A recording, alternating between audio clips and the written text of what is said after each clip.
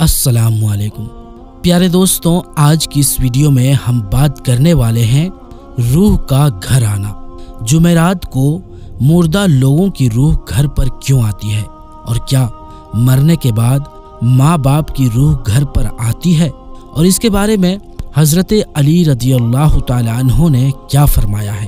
तो दोस्तों, आज की इस वीडियो में हम इसी के बारे में बात करने वाले हैं। और इसके साथ साथ हम आपको ये भी बताएँगे कि मरने के बाद इंसान की आँखें खुली की खुली क्यों रह जाती है। तो मेरे दोस्तों, बहुत ही प्यारी वीडियो होने वाली है। आपसे गुजारिश करेंगे कि हमारी इस वीडियो को पूरा ज़रूर देखिएगा। वीडियो शुरू करने से पहले, अगर आप हमारे YouTube चैनल पर पहली बार आए हैं तो हमारे चैनल को सब्सक्राइब कर लीजिए। साथ में लगे बेल आइकन पर भी ज़रूर क्लिक कर दीजिएगा। ताकि हमारी आने वाली हर वीडियोस आपको सबसे पहले मिल सके। तो चलिए दोस्तों, वीडियो शुरू करते हैं। हज़रत अली रदी अल्लाह तहो इल्म हिकमत और बहादुरी का पूरा नमूना है। हज़रत इमाम अली रदी अल्लाह तहो की खिदमत में एक एक लम्हा अदलो इंसाफ का मजहर था। हज़रत अली रदी अल्लाह तहो की ज़िंदगी को जिसने भी मशाले राह बनाया, उसने तोहीद, ईमान और तकवे की राह अपना ली। और दीनों दुनिया के मामले में कामयाब हो गया। मेरे दोस्तों, ये बात किसी से नहीं छुपी है कि हज़रत इमाम अली रदी अल्लाह तहो बच्चों में सबसे पहले ईमान लाए हैं। और आप हज़रत इमाम अली रदी अल्लाह तहो की शुरू से ही हुजूर नबी करीम सल्लल्लाहु अलैहि वसल्लम की संगत नसीब हुई। और हदीस शरीफ में आता है कि नबी करीम हुजूर सल्लल्लाहु अलैहि वसल्लम ने हज़रत अली रदी अल्लाह तहों के लिए इल्म में इजाफे की दुआ फरमाई है। इसीलिए आपसे कई हदीस मुबारक मनकूल है। हज़रत अली रदी अल्लाह तहों की दानाई और इल्म हिकमत की वजह से लोग आपसे अलग अलग चीज़ों के बारे में जानने के लिए सवाल किया करते थे। एक मरतबा हज़रत अली रदी अल्लाह तहों से रूह के घर लौटने के बारे में सवाल किया गया। तो हज़रत अली रदी अल्लाह तहों ने उसका जवाब बड़े ही दलीलों, यानी सबूतों के साथ दिया, जिससे ये साफ़ पता चलता है कि रूह घर पर आती है या नहीं। और अगर आती भी है तो क्यों आती है? और क्या माँ बाप की रूह मरने के बाद घर पर आती है? इस बारे में जानने के लिए आपसे गुजारिश है कि इस वीडियो को आखिर तक ज़रूर देखिएगा। मेरे दोस्तों, हज़रत अली रदी अल्लाह तु की महफिल में अक्सर लोग सवालात किया करते थे। जो तरह तरह की चीज़ों के बारे में होते थे। कहते हैं कि एक मरतबा हज़रत इमाम अली रदी अल्लाह तहो मस्जिद में बैठे हुए थे और आप हज़रत अली रदी अल्लाह तहो की महफिल में और भी कई लोग बैठे हुए थे, जिसमें हज़रत सलमान फारसी रदी अल्लाह तहो भी थे। हज़रत सलमान फारसी ने हज़रत अली रदी अल्लाह तहो से सवाल किया कि क्या मरने के बाद भी माँ बाप की रूह घर पर लौटती है?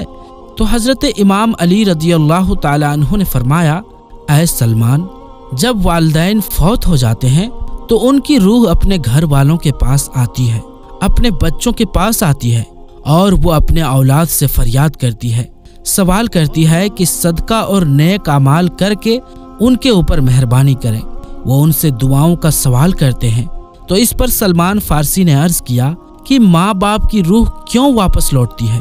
तो हज़रत अली रदी अल्लाह तहों ने फरमाया, जब माँ बाप फौत हो जाते हैं तो उनका अपना अमाल नामा हो जाता है और मरने के बाद वो अपने रिश्तेदार और औलाद के मोहताज हो जाते हैं कि वो उन पर सदका करें, कोई उनके लिए नेक अमाल करके इसाले सवाब करें, ताकि उनके दराजात बुलंद हो सके या उनके आजाब में इनकी वजह से कमी हो सके।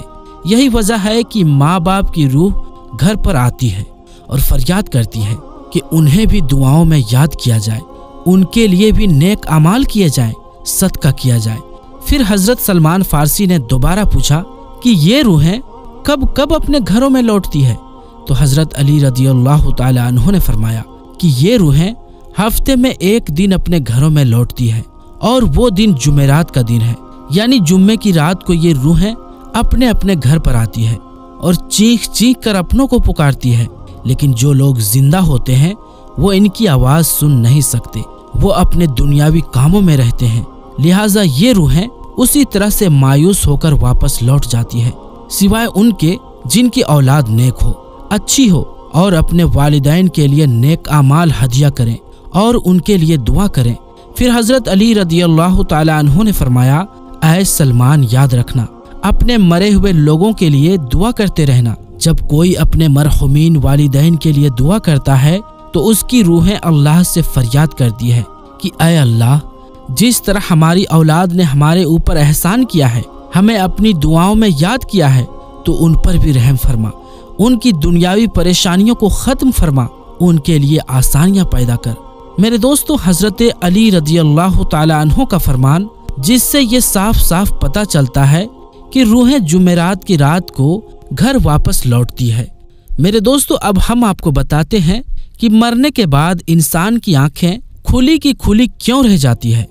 एक मर्तबा एक शख्स हज़रत अली रदी अल्लाह तहों की खिदमत में हाजिर हुआ और कहने लगा, या अली, एक सवाल मेरे दिमाग में है कि मौत के वक्त इंसान की आँखें खुली की खुली क्यों रह जाती है? तो हज़रत अली रदी अल्लाह तहों ने फरमाया अः शख्स, याद रखना लोहे महफूज पर इंसान की ज़िंदगी, धड़कन और इंसान जो सांस लेता है, उसके तहत लिखी हुई है कि कौन कितनी मर्तबा सांस लेगा, किसका कितनी मर्तबा दिल धड़केगा।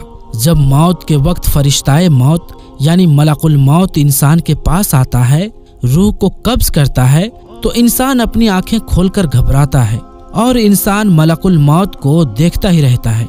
इतनी देर में जितनी धड़कने और जितनी साँसें उस इंसान को मिली हुई होती है, वो खत्म हो जाती है।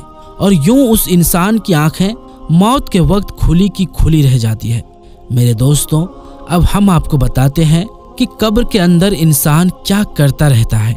हज़रत अली रज़ी अल्लाह तहों ने फरमाया, कब्र के अंदर इंसान क्या करता रहता है? एक मरतबा हज़रत इमाम अली रज़ी अल्लाह तहों की खिदमत में एक शख्स आया। और दस्ते अदब को जोड़कर कहने लगा, या अली, कब्र के अंदर इंसान क्या करता रहता है? बस इतना कहना था कि हज़रत अली रदियल्लाहु ने फरमाया, ऐ शख्स, बरजख में मरने के बाद इंसान इंतज़ार करता रहता है और उस इंतज़ार के साथ पछतावा उसका मुकद्दर बन जाता है। तो उस शख्स ने पूछा, या अली, वो कौन सी चीज़ें हैं जिस पर इंसान पछताता है?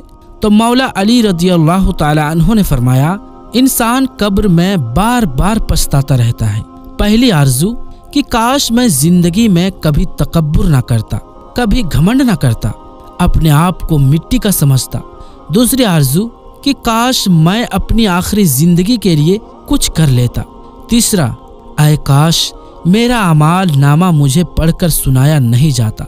चौथा आय काश मैं दुनिया में बुरे दोस्तों से बचता। फला फला शख्स के साथ ना बैठता। पांचवा आय काश कि मैंने अल्लाह और उसके रसूल सल्लल्लाहु अलैहि वसल्लम की फर्मा बरदारी की होती। छठा आय काश मैं रसूलुल्लाह सल्लल्लाहु अलैहि वसल्लम का रास्ता अपनाता।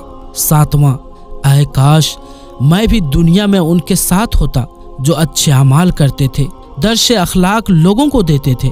आठवां आय काश मैंने अल्लाह के साथ किसी को शरीक ना किया होता। और आखिरी आय काश कोई ऐसी सूरत हो कि मुझे फिर से मौका मिले और मैं दुनिया में चला जाऊँ और अपने लिए अच्छे अमाल करूँ और दुनिया वालों को चीख चीख कर बताऊँ कि ये जो ज़िंदगी तुम गुजार रहे हो, ये खत्म होने वाली है और हर एक चीज़ का अल्लाह तुमसे हिसाब लेने वाला है। बाखुदा मौत के बाद सिवाय अच्छे अमाल के कुछ भी काम नहीं आता। तो दोस्तों, अगर आपको ये वीडियो पसंद आई हो तो इस वीडियो को दिल से एक लाइक कर दीजिएगा और अपने कुछ करीबी दोस्तों और रिश्तेदारों में इस वीडियो को ज़रूर शेयर कीजिएगा। और अगर आप हमारे चैनल आलमी जंक्शन पर पहली बार आए हैं तो हमारे इस चैनल आलमी जंक्शन को सब्सक्राइब कर लीजिए और साथ ही लगे बेल आइकन पर भी ज़रूर क्लिक कर दीजिएगा। तो मेरे दोस्तों, आज की इस वीडियो में बस इतना ही। मिलेंगे इन एक और नई वीडियो के साथ। तब तक के लिए अस्सलाम अल्लाह हाफिज़।